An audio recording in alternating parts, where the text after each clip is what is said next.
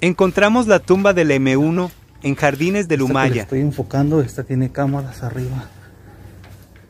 Ah, miren, aquí está el ondeado. Manuel Torres Félix.